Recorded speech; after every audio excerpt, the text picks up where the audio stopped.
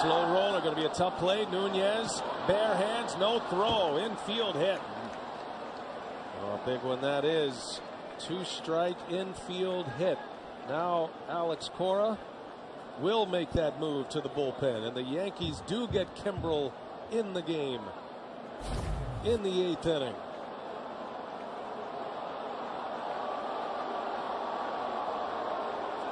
Wise move by Nunez. Crowd does not like this move right here. They think Porcello can get sixth.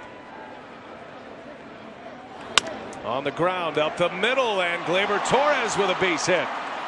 Finds a hole. Back to back hits for the two rookies in this Yankees lineup. And the Yanks are in business now. Two on, one away.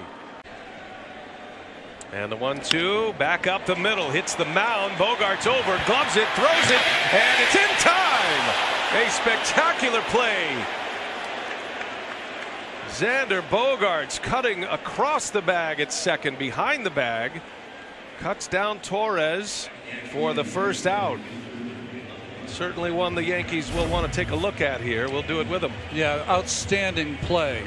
I think the ball's there in time. His ability to go up the middle, throw off balance. But does Pearce keep his foot on the base? Yes, he does. Yeah, I don't know. I think that throw was a little late. We're going to have our third challenge.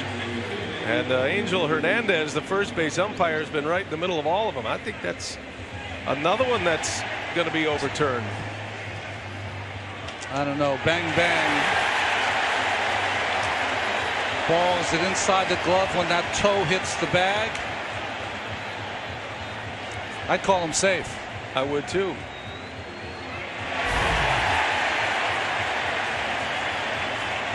I think it's just outside of the leather when Torres hit the bag. Replay review by Mitel. Safe is the call.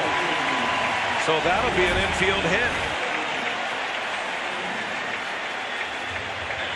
Bam. Yeah, ball hadn't hit the leather. I mean, it is splitting hairs, but the replay speeds, our great camera work, the work in the tape room to be able to get these images, you can see so much more over the last few years than you've ever been able. Little tapper. Gonna let it roll, let it roll. It's gonna be a fair ball and a base hit. And Torres is aboard with an infield hit.